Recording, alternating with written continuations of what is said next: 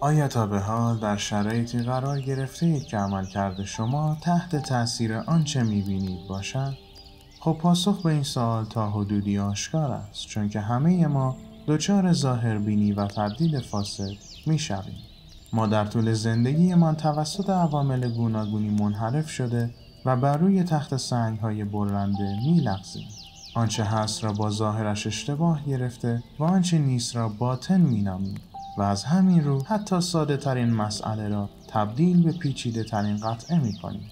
در کنار این مسئله چیزی که ما را به سمت و سوی این ظاهر بینی می‌برد تردید فاسد است. شاید از خود بپرسید که تردید فاسد چیست؟ تردید فاسد نتیجه ترس بیهوده غالب بر ذهن و روح ماست. دشمنی که ما اغلب خودمان اجازه سلطه را به او می دهیم. زمانی که ترس بر ما چیره می شود و ما پشت دیواری از احساسات پنهان می شویم ترس بر پرده درونیمان مهر تردید می زند. به عنوان مثال فردی را در نظر بگیرید که از کنار خانه ای می گذرد.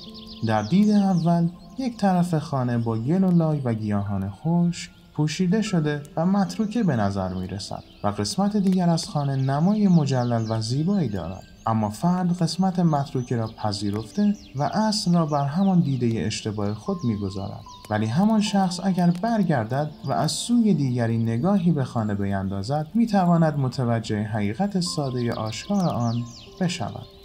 قضاوت هم از همین جنس است. همدیگر را به دلیل آنچه می‌بینیم میرنجانیم. بدون اینکه حتی بدانیم که پس پرده آن کار چیست.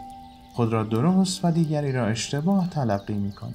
دوست من با چشم دلت ببین. دلی را مرنجان و به یاد داشته باش که واقعیت همیشه آن چیزی نیست که رؤیت می‌کنی. چون که انگشتان را هم می‌توان به قصد کندن گلی استفاده کرد. هم به قصد کاشتن گلی.